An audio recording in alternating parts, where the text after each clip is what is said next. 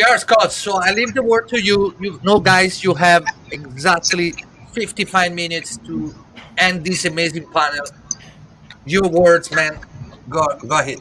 All right, Enzo, thank you very much. Uh, first of all, what I'd like to do really is just introduce the panel. We've got a super exciting panel today. Uh, and so the first person I'd like to introduce is Olga Sommer. Olga is Director of Revenue at the Nobu in Portman Square in London. So very excited about your perspective, Olga. But tell us a little bit about yourself and and, uh, and what you do there and and uh, why you're joining us today. Ah, well, I was. Um, thank you very much, first of all, for inviting me. It's great to be um, on a panel. Super excited to be in your company. Uh, Scott, you're absolutely legendary, and everyone who created this uh, series of uh, revenue I think, is fantastic job. So well done. Um, so my name is Olga. I'm Director of Revenue at newly opened um, Nobu Portman Square Hotel in London. It was quite an interesting experience um, opening hotel during the pandemic. Um, it's definitely um, it's been really an eye opener. And um, I've been in this industry for 20 years, out of which 10 is in revenue was spent in revenue management. So this topic today is very close to my heart because I I think revenue management is nothing but thinking about profitability. So it's a big part of it what we do. Absolutely, thanks. So definitely looking forward to getting your uh, getting your perspective. I'm just going to go around clockwise if it's okay. It's kind of a weird reunion for me today. Uh. Both versions of my professional past are represented. Uh, but first, let me introduce uh, Maggie Chen. Uh, Maggie and I actually had the, the, the, pleasure of teaching together at EHL for several years. Maggie's still at EHL, absolutely one of the experts in distribution uh, and uh, an absolute fantastic teacher as well. So, Maggie, tell us, I've told everybody everything about you already, but tell us a little bit about yourself. Oh, uh, thank you so much, Scott. It is really nice to reunion with Scott this way. And uh, I'm an assistant professor at École Hôtelière de Lausanne. And uh, uh as as Scott said, I basically for me, distribution is one of my research topic. I am passionate to know how to help uh, hoteliers, and I participate in different kind of conferences. But it is an honor to be here to share uh, my observation with all these practitioners. And uh, uh, I also hope I can hear from the industry uh, about what we want to do with uh, customer acquisition cost. Thanks, Maggie. And now I'm going to roll the time machine back ever so slightly further and welcome Raul Moranta. Raul and I had the benefit, the pleasure working together uh, some time ago uh, at Hersha Hospitality in in uh, in the United States, and now Raul is Chief Commercial Officer of uh, Remington Hospitality, one of the largest third party managers in the United States. Uh, really, really interesting perspective, Raul. I'm really excited you're here, and tell us a little bit about yourself. Nope. You're, I think you might be muted. There you go. Of course. It is COVID time, so we are all muted. Uh, but very happy to be here. Um, obviously, we've worked together, so we, have known each other for some time. Uh, I think I, I, might be the only person in the panel that is not in, uh, or at least is in the U.S. But um, but I'll, hopefully, I'll bring the U.S. perspective um, into the panel. Um, I've joined uh, Remington as a chief commercial officer uh, in December. So it's been an interesting experience to um, try to figure out how we ramp up and uh, grow revenues in a, um, obviously a, a, depressed revenue environment. So, but very excited to be uh, here. We have um, uh, I am based out of Dallas, uh, Texas. We have uh, about 80 hotels um, in uh, continental U.S. So we have uh, hotels in the the United States, um, and then we have one hotel in Alaska. So uh, mostly branded. We do have about uh, 12 independent hotels, which, as you know, um, distribution and cost of distribution for independent hotels is is very different on the branded environment. But very happy to be here. Um, thank you for the invite. Thanks, Ro. We're definitely looking forward to having your uh, your sort of large portfolio um, uh, perspective. I think it'll be very interesting as we as we move forward. So let me just kind of throw it out there. This is all about distribution cost. Uh, I think that even before COVID, uh, we kind of had come to the conclusion that there wasn't a whole lot of profitability left in terms of cutting costs. Uh, we don't control taxes. We don't control insurance. We don't control all these things. And yet there's all this money being spent on distribution. And, and I think uh, of, another friend of ours, another friend of the show, uh, Max Starkov, uh, kind of described it at one point as the last a frontier. So what I'd like to do, uh, for those that know the format, we kind of base our discussion on some of the posts from the Hospitality Net Revenue Optimization panel. So I'm going to go right to Max's post. And I'm just going to read the first line, and then I'm going to ask a couple people to comment about it. And that was that he said we need to start treating direct online distribution costs as distribution costs. So I know we all have some passion about that, but let me, uh, Maggie, let me ask you first. First of all, what does he mean for people that don't uh, uh, that don't have quite as much of an understanding of it? Well, for me, I feel like you know we need to differentiate distribution cost and customer acquisition cost. Distribution costs are related to uh, OTA commissions, okay, the discounts you offer to tour operators. But on the other hand, there are many other costs uh, which are not considered by me as distribution cost. So for example, uh, earlier, um, Raul mentioned about he has a branded hotel and independent hotel. For branded hotel, you have uh, brand charges, right? And uh, and whether you are branded or independent, you have sales and marketing related expenses. You have CRS fees.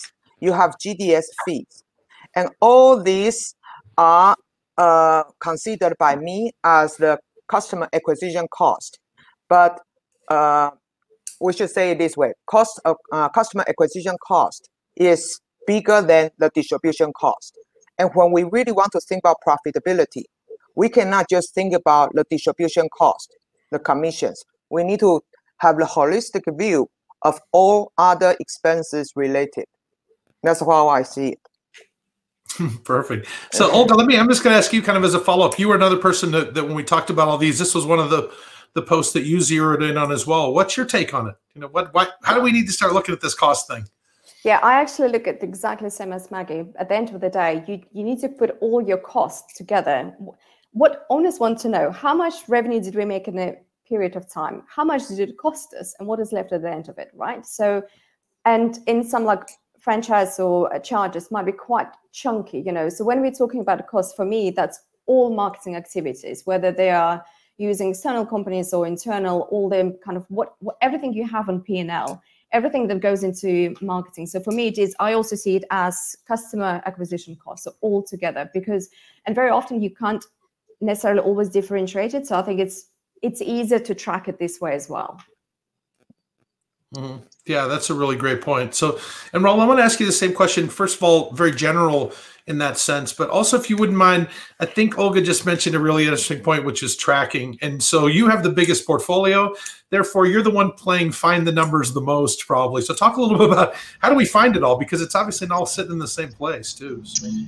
Yeah, and I think we um, the issue of tracking has a lot more to do with technology that has to do with distribution. Uh, I'll give you an example. Um, you can have, uh, let's say, a Priceline reservation that is connected through the brands uh, through GDS. You can have it through uh, a direct connectivity through um, a, a CRS, or you can have it booking through, uh, you know, a, a direct connectivity. Those are going to have very different costs and have nothing to do with the fact that you want to have an OTA, uh, an opaque reservation. It's just that um, the the distribution channels are very fragmented in terms of technology, and every company has a very different technology platform, which then forces have different cost uh, measures. Um, and I think because of that, it is very difficult for us to be able to track all of the expenses at the same time because they all not not all go through the P&L. In the case of margins, those margins go through. Uh, they actually happen pre-transaction. So they take their margin out, we get our net revenue, so we never see that. For our side, we have used uh, probably one of the companies that have done uh, the, the, the best job, at least in the US, is Colibri Labs. They have been able to do some calculations and cost calculations outside of your P&L and have some assumed costs that make it a little bit easier for us to calculate that. Um, the other thing you find is that there isn't an industry-wide um, standardization. We have done a far better job of standardizing market segments that we have done at channel distribution. Because as I said, you can have that an OTA reservation could come via GDS, could come directly to the property on a fax. Uh, so because of that, we, we don't have a generic way to do that. Um, I would also tell you that you is very hard for you to find uh, channel distribution on a P&L, or if you are doing a pro forma or you are doing some sort of due diligence. It's very difficult to find that information for any system. And I think until that happens, until we find it on a P&L or we find a standardized way to do that, it's going to be very difficult to calculate it the right way for all the hotels. Gotcha. Yeah, that's a great point. That's a very good point. So let, us dig a little bit into that, if you don't mind, a little bit further. And, and Maggie, I want to come back to you. So yeah. uh, you mentioned all those costs of acquisition. Some of them, uh, they might not be in the same place, but at least we can find them. Um, you know, you can kind of understand what your margin was on every transaction. Boy, based yep. on the way we move our rates, that's a super hard moving ball, but you can kind of figure it out. But some of them are softer than that, even like loyalty costs, right? Exactly. How do you how much of that was acquiring the customers? How much of that was because the brand made us give it to them and it, they would have stayed here anyway? Uh, that that kind of how, how about the softer stuff? How do you, I mean, how do we deal with those things? Well, this is the part I, I want to come back to what Raul said. Uh, in you, uh, you know, we all know the uniform system of account. They define revenue, they define different expenses, but they don't define customer acquisition cost. So as you mentioned, there are some soft costs like a loyalty fee, like brand charges. There's no definition, right? So in this case, uh, Raul already told us several times, where do you get the information? And uh, who has the information? So the uh, web-related expenses normally are charged to the IT department. And uh, the sales marketing expenses from the brand are for the marketing department. The OTA commissions are in the room department.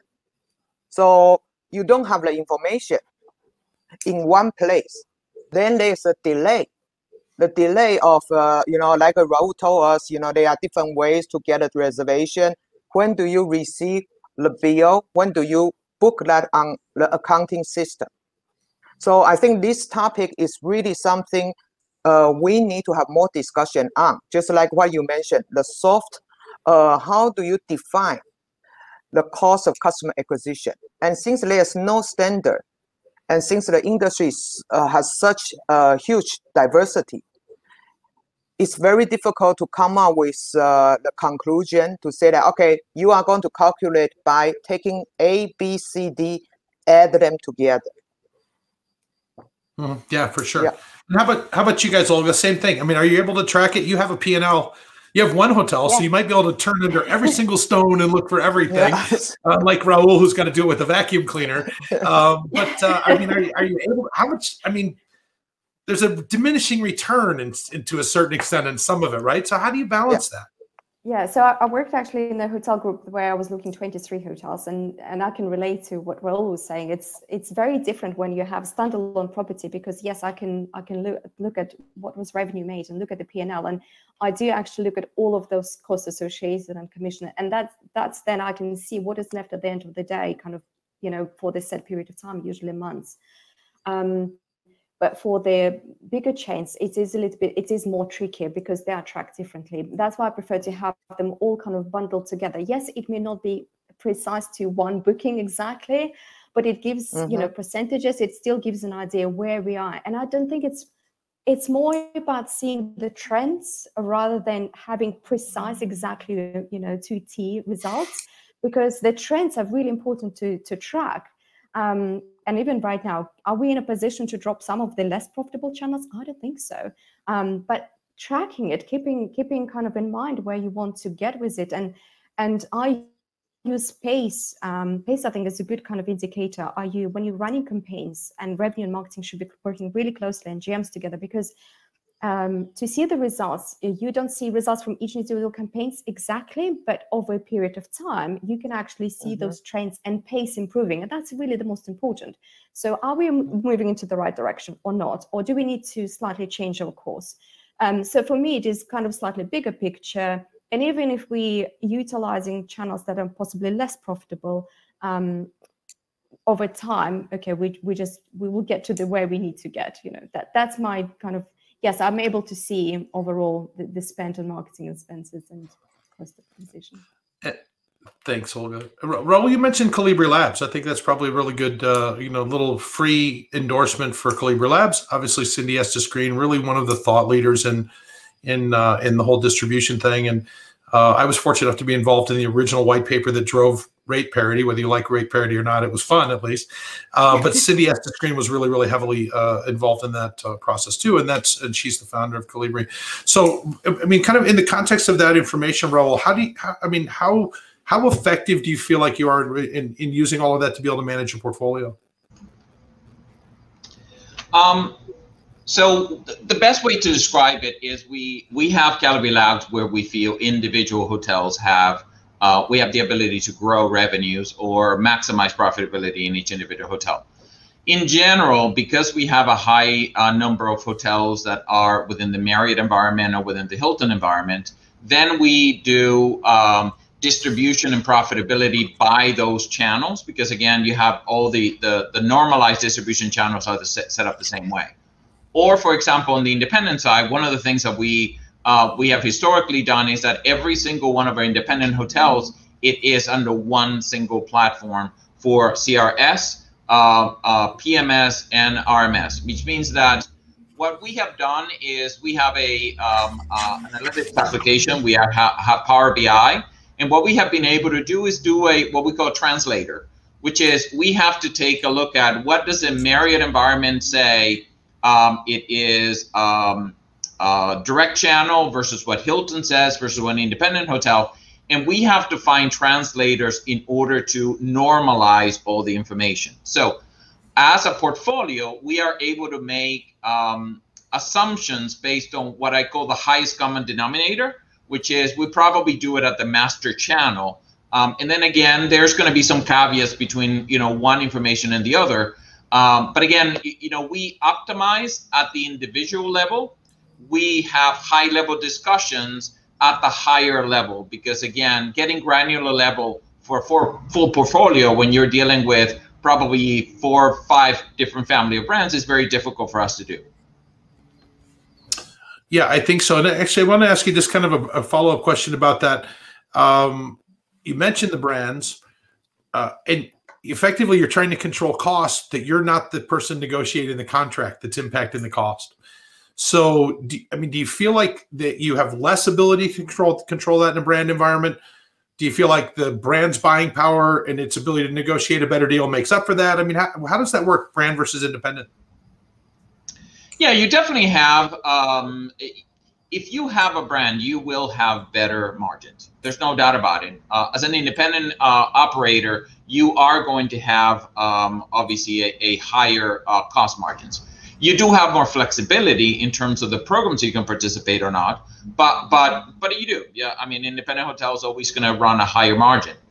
I think that where we have the ability to control cost in terms of brands, it is whether we choose to participate or not to participate in different promotions. Reality is, if you take a look at where what happens with the brands in the middle of COVID, is brands have different promotions. In most cases, they allow those promotions to go into an OTA.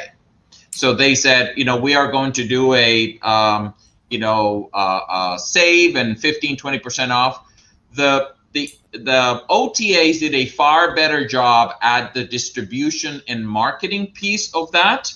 Um, so sometimes, for example, if we wanted to participate in a brand promotion, we got a disproportionate amount of increase through an OTA for that promotion as opposed to the brand channel itself. So um, in a lot of situations, what ended up happening is that um, we loved it for weekdays, but we are sometimes at capacity on weekends. And then it was a situation where we're not managing the channel, we're managing the day of week for that specific promotion in order to have more or less of that particular channel. Hmm. Okay. And so, uh, oh, let me let's just kind of ask you ask you the same thing. Really, it's kind of the question of of the that you know you have some independence, right? You you have some benefit of some some scale, but also probably a little bit more independence. You probably ride right in that place that we we'd all like to be, You have kind of halfway in between. Um, how, how, much control do you have? You do you really think in terms of the contracting piece versus the managing piece on an ongoing basis? And where's the, I mean, where do you think the bigger return is, or is it equal, or how do you think that works? Um, to a certain degree, we, yes, we do have control pretty much on what we are participating. There are certain um, campaigns that are branded, and we're participating in them, and certain we, but most of the stuff we do independently. So what we do, how we control the channels, and I can definitely relate to what Raul was saying is that you can see return from OTAs much greater um, just because they do certain things better. And, and, that's what I meant earlier by saying I don't think you can switch off certain channels, maybe not always. If Raul's hotels are in a position to do it now, great. Uh, for the UK, it's it's not yet the position we're in. Um, it's very much about generating revenue. Um, but we do, we do have, I think, once we're out of the pandemic, uh, we will go back to a little bit co- greater control. But um, because we invested quite heavily in our direct marketing um, and we do have a quite quite high cost for the marketing, but we actually see a larger proportion right now of direct business uh, than OTAs and and any others. So we are kind of seeing the benefits of that. Right. Yeah, that's uh, true. Whether it is, but whether it is, I because we're a five-star luxury hotel, it might be slightly different story. Because for a budget sector, there is no chance they will have right now investment to get the same to get to the same volume of business they can see from online travel agencies. They rely about sixty to seven percent is coming from OTAs. How much they need to have an investment to re- to see a return? Mm-hmm. So doesn't doesn't fit everyone. Gotcha. So you brought up a really interesting point. You talked about kind of brand marketing which to me is the one of the most difficult ones, right? Because there's something involved in that. That's something involved in the transaction. Uh, we talk about the number of times, and Maggie, I'm sure you can probably give the most recent statistics. The number of sessions, how many websites do people visit before they book, and everything. How do you attribute all that cost? Because every single time they touch us, we're spending an effort marketing, and yet one of the times they touch us, they choose to transact or not. Do we associate everything with that time? How do we? How do you deal with the the investment in marketing that you just mentioned, Olga? I think I just asked two people that question. So let me say, Maggie, how do we deal with the investment in marketing that Olga just mentioned? That was much better. Sorry about that. yeah, no, that's fine. That's fine. I want to say that, you know, first of all, I'm really glad to hear what uh, uh, Olga and uh, Raul mentioned about you need to actually also think when you actually work with a brand, you cannot just assume that you join all the promotion activities because what Raul said is that okay, if uh, the brand's promotion is going through OTA, then uh, he probably will pass. So I think that is already for me. This is something uh, is very uh, important for all the audience to know. So uh, always evaluate, even if it's brand proposal. I think uh, people need to know. And the second thing uh, about what Scott just mentioned, uh, Google uh, published a research which is uh, before COVID, but I think uh, we will see the latest one maybe when we return to normal. But before COVID, uh, Google said that people, on average, it takes people 36 days, goes through 45 touch points to book a room. For us, we think this is ridiculous. But you know, travel is a big decision for many people if people are going to go to stay at the Olga's Nobu Hotel, that's a lifetime event. So I'm not surprised about 36 days and 45 touch points. But then the key question now is when we calculate uh, the contribution margin by channel, how do you take into consideration that people are jumping from one place to the other, the different touch points? So we talk about we need to have the attribution model. But I think the attribution model, uh, maybe you will be able to keep track of what's going on, how different websites contribute to direct booking. But I think the attribution model may not uh, provide enough information about the contribution made by GDS, uh, OTA, and uh, offline channels. So to answer Scott's question, I think uh, the attribution model is something we need to work on. And when we calculate Uh, the profit margin, if we do it by channel, the question is this, how do you recognize all the channel when you consider it takes average people 36 days?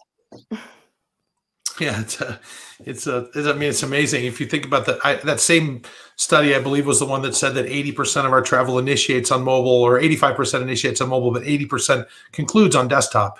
So if you want to track that customer, boy, you've got some pretty sophisticated tracking because you're chasing them from device to device, even, and everything is happening. I'm sure everyone loves all their information on the internet, so I'm sure you're all signing into everything with your personal data, right, and connecting all that stuff so that we can make nice attribution and we can feel feel good about our marketing. And so, yeah, you're right. It's I think it's a really really difficult challenge with all those with that path and, and all those touch points if we want to be that that sophisticated. So let me back up and be a little bit less sophisticated. Five years ago, anytime you said the word online travel agency, you heard the theme music from Darth Vader coming into Star Wars. Like, eh, it was the worst thing in the world. It was costing us a tremendous amount of money. But I think that thought is that that, that thought is evolving. And Raul, you mentioned, and I'm going to ask you I ask you to speak about it first. But I think we've at least become sophisticated enough to be able to identify when we're spending 35% margin ourselves to generate business that we're getting from someplace else for 20 and feeling really good about the direct business, but killing the profitability at the same time. So, I mean, Raul, would you say, I mean,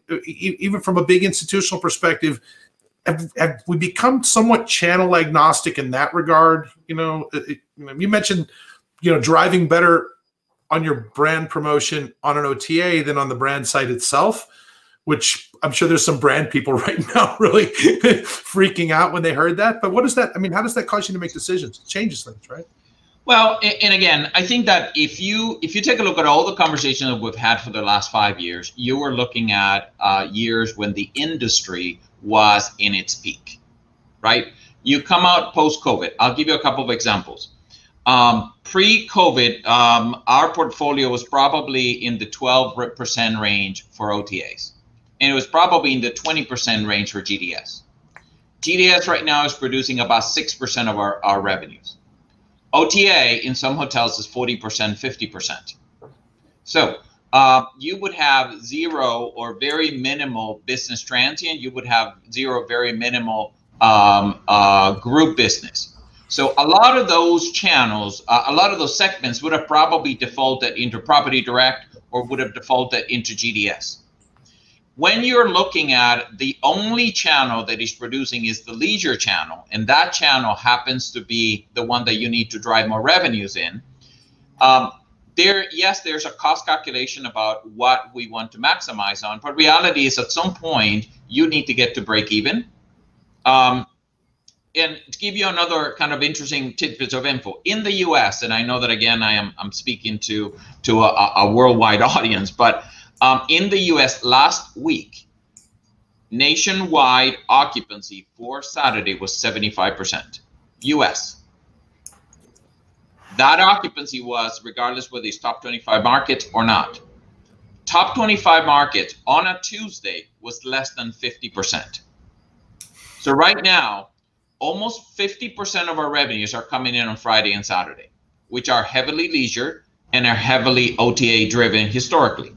So when we do our calculations, I think it is, um, you know, five years ago, I would have told you I want to minimize certain channels because I am now dealing with how do I maximize the tip of the spear. When you are trying to figure out what this is the only volume you have, then your calculation about cost changes completely because now you need to figure out how do I maximize my revenues. Um, and then the other challenge that we're having in the U.S., believe it or not, that there is the, you know, uh, um, you know, uh, profit per occupied room. That factor is now changing to prof, uh, uh profit per clean room. And the reason for that is because people are not thinking about the fact that in the US you have a labor shortage. So sometimes you don't have enough clean rooms in certain uh, dates. And then that also is going to change your calculation as to how do you maximize revenues when you have loss of income because you do not have all rooms available for whatever reason you have. So I think that again, the pre-COVID timeframe and calculating cost and the calculations we do on the, the corporate side are very different than the current environment. And I think that they are going to also be very different in 2022 and beyond because we're probably going to get back to a more normalized environment of revenues and, and profitability. Scott, may I add something to, to of course, please both do. of the statements? So Maggie mentioned that point where the customers are, are, jumping from one touch point to another. And I think this is the crucial is like what hotels do when it happens. Okay, how can we, and there is a great opportunity to drive direct business. There are plenty of things hotels can do better, um, and some properties already increasing the um, seeing the benefits of seeing of that uh, direct uh, business because they invested, they're seeing results now so there is, there is opportunities for hotel to gain more business and to, to secure that customer. Now, what Raul has mentioned, I, I, I, really can relate to that. There's a huge shortage right now of staff in the UK as well. And the businesses have to scale down because they are back, because they're not able to deal with the demand. Now, because right now, as we know, there is right now less business coming from the GDS, is, is for me, is what hotels do. Have they um, potentially reduced the expenses on some of the campaigns that would historically go into the GDS, but did they distribute that money into, for example, supporting the in, in-house um, reservation centers or call centers? Because if we see increase of direct business, but are, are we actually looking after that channel? Are we are diversifying? Are we quickly reacting to that change of, of channels or not? So that is just something to mention. So uh, Maggie, I think what that's saying to us is, it totally makes sense. Yeah. Absolutely. I think what we're learning from that is you and I need to do some research on whether housekeeping is supposed to be included in the distribution costs or not. um, so let's uh, so let's shift let's shift a little bit, and and I think we want to talk a little bit about uh, about Fabian Bartnick's post because I think all of us were attracted to a piece of it, and I'm just going to read you a piece of it because I think it's really impactful, and then let's go around and talk about it some more. He said, don't get hung up on profitability percentage. In high demand times, cost of acquisition matters. However, in medium and especially low demand periods, when there's no displacement, the profit generating business should be taken to, to, to, drive profit, right? So we should look at dollars, not percentages. The classic argument that we have, the reason that I always fought with the resident manager, you know, and and uh, you know, let's sell the presidential suite and close the reservation system. Then, if only percentages matter, uh, so um, so where you know can we measure it that way? Is that uh, you know what what do you guys think? I mean, how do you deal with that? How how can you in, in, how can we get sophisticated enough to say we should have no more than a 10% distribution cost on this sold out night, but I'm willing to pay 50% for this Sunday night business and like it and be happy about it? How how can we get there? So Olga, you you were one of the people that tuned in on this one first. How how about I mean, how, how can we get more real? How how can we talk about making money and not spending percentages? No, I have I have two examples to share. So I always uh, to the new starters in uh, who are joining the company, I always give them example of uh, do you sell more edamame beans with 92% uh, profit margin or sell wagyu beef at with 50% profit margin? Um, it works out you need to sell 500 times more um, edamame beans to make the same um, to, to, make the same amount of money. Um, so I absolutely agree with Fabian. At the end of the day, it doesn't actually matter sometimes what what occupancy you're running or what is ADR is actually what you have left. Are you running as busy fools and not making profit? For me, that is more mm. important than what is actually KPIs occasionally. It's good to look at the KPIs, but also depends on, on the business and, and what are their goals. Um, and there was a second example that kind of right now escaped my mind. Um, sorry, a second example came back. Sorry, thank you. Um, I was talking to revenue uh, director of revenue who opened five star hotels recently during the pandemic, and they went to quite a drastic measure because they were not getting um, OTAs or direct business. They didn't have enough exposure in the market yet.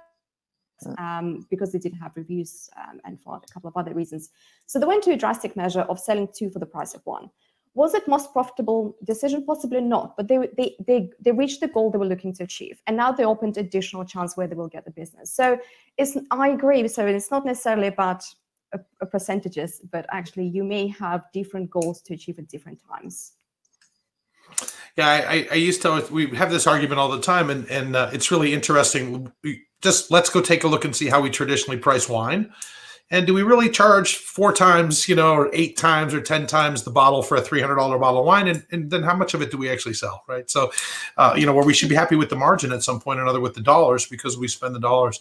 Um, and, and Raul, how about from an institutional perspective? How, I mean, you know, even when you're talking about sales incentives and some of those things, are, are you able to, are, I mean, how, how does a company or how does a, a hotelier kind of discern between the business I'm willing to pay for because it's incremental and the business that – boy, I can sell that anyway, and I don't want to pay that much for it.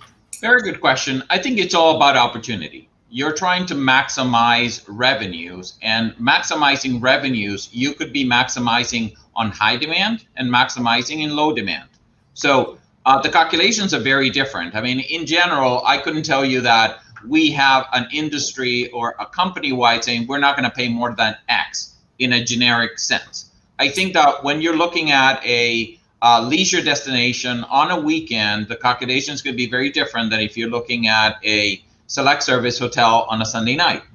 Um, and right now, for example, you know, we talk about the, the, the change of distribution in OTA. The reason why you have a lot more OTA distribution now, it is not because we have strategically selected to say we want more OTA and we'll never be able to get back. It is because you have the absence of other business. And I think in the context of that, you have to take a look at every single uh, day on its own and be able to figure out what is it going to take to maximize the revenue and the profitability for that particular day and that particular hotel. The other thing is that, for example, one of the things that struck me about you know his comments was that you worry about whether you want incremental profit dollars or incremental profit percentages. That changes the calculation depending on your um, uh, your investment uh, stack. So if you are a single owner and you have to pay your mortgage and you have to figure it out how do i make the next payment in this environment you're probably going to be more guided towards i need whole dollars regardless of how much it's going to cost me because i may not be at a break even point mm. in a high level environment 2019 is a very different uh, calculation but if you are a public company then likely it is that you are going to be more measured on profit margins and the margin percentages and the year over year changes are going to make a big deal um, on the calculation because that may affect your stock price. So when we take a look at, for example, uh, investments for private companies or um, investments for you know single owner hotels, we also have to keep that in calculate in, in consideration, regardless of what our philosophy is. Because at the end of the day, we have to be an owner advocate and we have to maximize, as I said, the profit of that hotel and the revenues for that hotel based on the owner's needs and requirements at the time of. Yeah. okay. So that was just a very complex point that got added to the pile. Thank you very much. And so now, Maggie, we need to not only research adding the housekeeping costs, but also the equity structure of the hotel when we determine the yeah. distribution costs. This is exactly turning into a very wide ranging uh, issue. We knew it was big, but we had no idea. Yeah. I, we will be busy for the next uh, two three years. I think you know you know how academia people act uh, work. You know it will take us a long time. Yeah. Absolutely, it's going to take us years to prove what you just said. But anyway, okay. yes.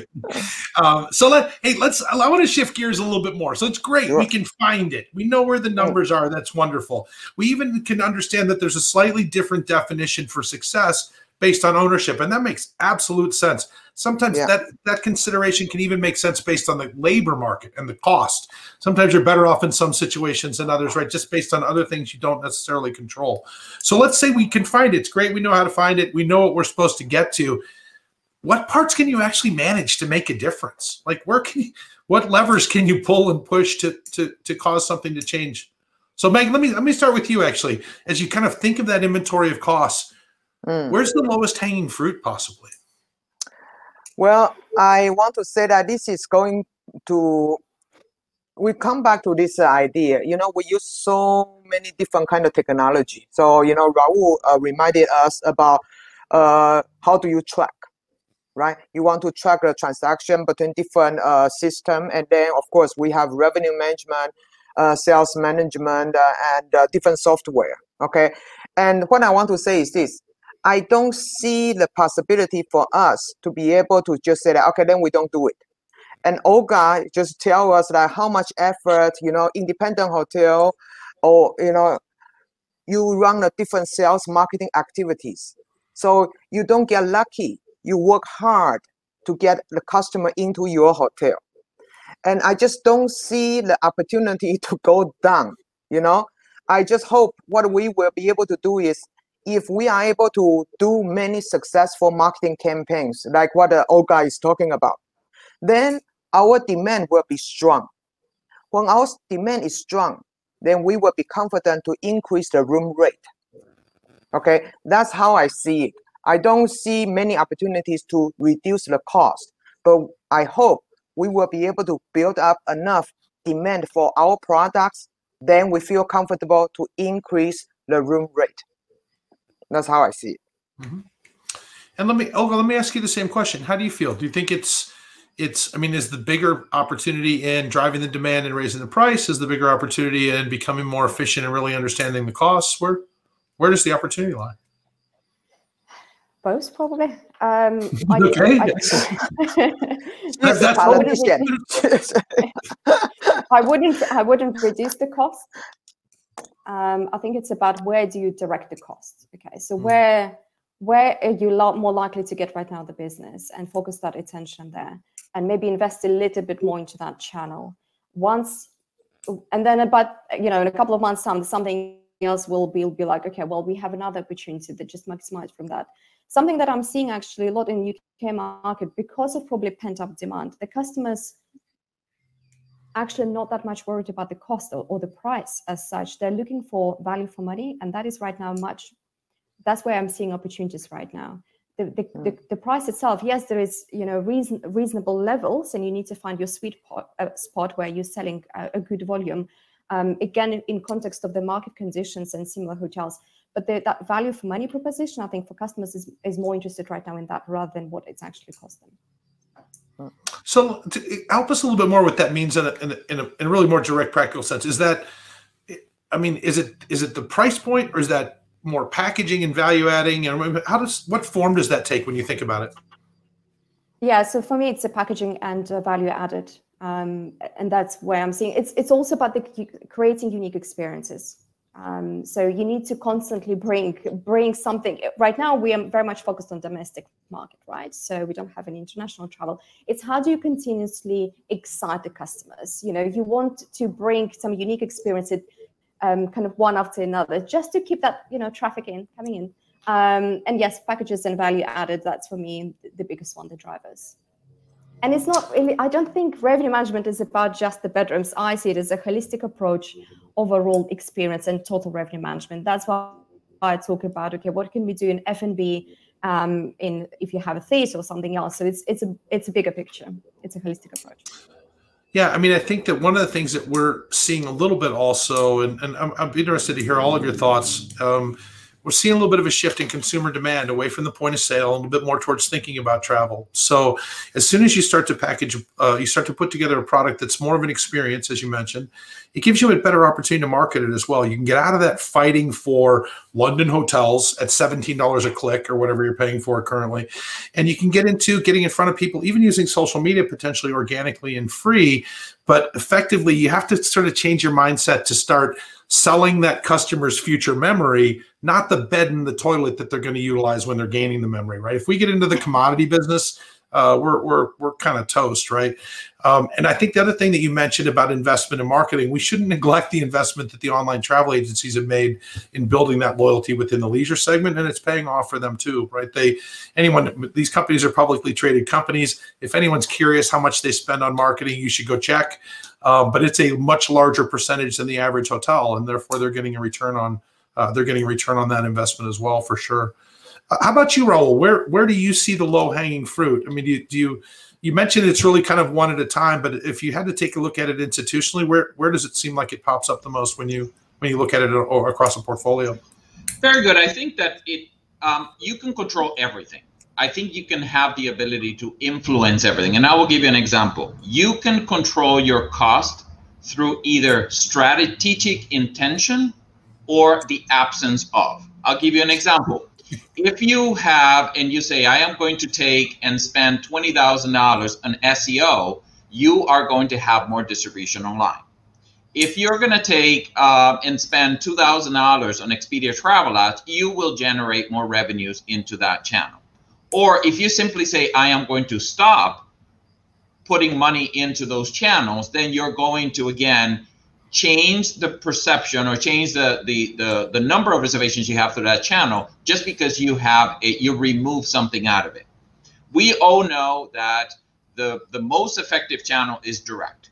So if we were to take those things, and I'm not saying I'm suggesting one of them, I'm saying give you an example. that if I take those funds and I take that and uh, and basically hire a um, another sales manager that focuses on SMERF, focuses on corporate, focuses on group, you will have more direct distribution. So what we are thinking about here is not uh, that I am going to shut down one channel to another, is that you're going to intentionally focus on one versus another, which is what I believe you can do in code channel displacement. So if I intentionally book more ahead of time through direct channels, whether that would be group, business transient where there is, um, or any other channel other than OTAs, then I am in fact, again, changing my cost structure. So I think, again, as I said, you can have it through, as I said, a um, as an intentional strategy, or again, as ignoring one channel. And simply it is, well, that is what we are trying to do. We're simply saying right now, the channel that he's producing, it is, again, direct channels, uh, property. We've had a lot of, for example, in the U.S. National Guards or nurses and things like that because of COVID. We're going to go after that channel. We are seeing now some green shoots coming in on the business transient side as the states start to remove restrictions. And then that is the next focus channel that we are going to go after because we traditionally have been a very strong midweek corporate and group organization, and we are going to get back to those levels. Until then, again, we are going to do whatever we need to do to make sure that we maximize our revenues in the current environment. Perfect. Yeah, I, I, I actually was gonna. Uh, it's you made me think of something when I saw something that ran across the screen at the bottom, and I'm kind of. I would like to get everyone's on thoughts on this, and that is the whole. Um, once you once you got it, you can't get it out. You know, once you've got 50% OTA, you can't get it out. And I actually am not a big believer in that. I actually believe that the branded channel, the direct channel, if you're managing it well, they'll pay you more. You're competing in a brand agnostic channel otherwise. So if you can create enough of your own demand that you can raise your prices, effectively you're going to pull you're going to switch shift your mix because you're going to be more attractive to that direct customer than you are to the totally brand agnostic one. So effectively you're pricing yourself out of some of that OTA business and you're shifting your mix by yourself. But it comes from creating displacement, quite frankly, because the word we haven't said yet, but we're dancing around is perishability. And we don't really, you know, it's like we, we, we have to take that piece into consideration all the time. And I don't think that, in, with the exception of potentially when a different metric matters, like a publicly traded environment, I don't think any of us really have the luxury, unless we own the hotel, to decide to make less profit. I mean, it's not really kind of like not what we're supposed to do. That's not why, not why they pay us. So um, let's let's we've got a few minutes left. I want to shift into something ever so slightly differently. Let's now talk about the people that have to do this. So uh, Diego, uh, one of the um, people that puts this all together. He's actually one of the um, uh, one of the people that was responsible for the revenue dictionary. Uh, he's uh, the chief revenue officer of Palladium Hotels. Many of you know them, but one his post for uh, in the uh, panel started out was had a great line in it. Could we start talking about becoming a profit manager instead of a revenue manager? So I'm wondering, Olga, go ahead. Let me start with you. Tell me what you think. But I'm asking you specifically: Do you think it's the same person, or do you think it's somebody else? Is it do we do we have the right people in the chair right now to be able to make that shift? Yeah, I think so. Um, I would like to think so. For, for me, that was a key phrase when I when I read it. I was like, yes, that's actually that that's a that's a key here. Um, yeah. I think we many revenue managers moved from um, being revenue managers to uh, profit management already some time ago. Every single decision we make has a has impact on the bottom line, and um, plenty of examples we had, you know, hotels had to make decisions, are they going to continue being open during the, the second lockdown or do they close? Um, and many revenue managers did support GMs with making that decision. Equally, in April, we could open for five weeks earlier, operating um, F&B outlets outside uh, in the terraces. And many hotels, again, looked at what is a break-even point, um, you know, to build the terraces, to find employees, um, and some did a really good job um, on on finding that that uh, break even point, and some probably didn't make actually uh, revenue uh, or didn't cover their costs. So. Um, yeah, I think revenue managers already a long time ago moved into this a little bit more profit management and, and occasionally asset management and God knows what we ask, uh, what else we ask to do. Um, at least able to support um, GMs and sales and marketing and working together alongside other departments you know, it's, it's sometimes as a simple example, working out what is the cost, what how much you're making from from breakfast um, sold. Um, is it worth doing certain activities, or actually it's, it's not the wisest decision? So yeah, I think we already we have the right people, and we it's been a long way towards the the point where we're actually supporting with other functionalities rather than just revenue management. Cool. Uh, and Ron, let me kind of follow up with you. You mentioned group.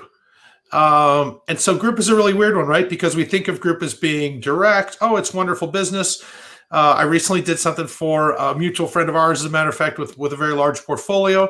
And the the effectively, if you created a margin with group or you created a commission based on the specifically the direct sales uh, uh costs associated with the group sales department, they range from single digits to forty five percent of revenue. So it was like this incredible breadth of. And and I said, well, what about this hotel? Well, that person also does these other functions that are not revenue producing. I'm like, oh, great. Now we're in the the P and L with all the expenses around it. But how, how does that come into play when you really start to get outside the box? Is it a new person that's able to do that, or do you think it's we have it in place? Um, you know, great question. I think a lot of it has to do with the the, the specific asset and the complexity of that asset. Um, if you have a hotel that has, you have 30,000 square feet of meeting space, you have to have group. Uh, there's also a factor of incidental spend. Uh, you know, a business transient guest probably is less likely to spend as much money as a group guest would because they would have breakfast, lunch, coffee breaks, and dinner. So you look at it again as um, you know holistic approach to say I can sell these group and get incremental revenues as part of that process, which I would not get otherwise with any other type of business. Um, I, you know, the, the other interesting thing about it is that the industry is kind of a uh, there's a bifurcation of what what people think about how revenue management is going to be in the future. You either will be a generalist, which means that you would be all things considered revenue, which is what people said total revenue management. If you really think about it, the vast majority of the times, uh, specialization has become the norm meaning you have had either a specialist that is in a full service, big box, thousand room hotel, or you have a cluster director revenue that has 10, 12, 15 select service hotels. And if you have a cluster environment, it's very difficult to get to this granular level. And I think that that's one of the reasons why in a big hotel, yes, you can have that director revenue be responsible in charge and uh, uh, deal with all these uh, factors in a cluster environment, you probably are heavily more reliant on technology to help you maximize those channels.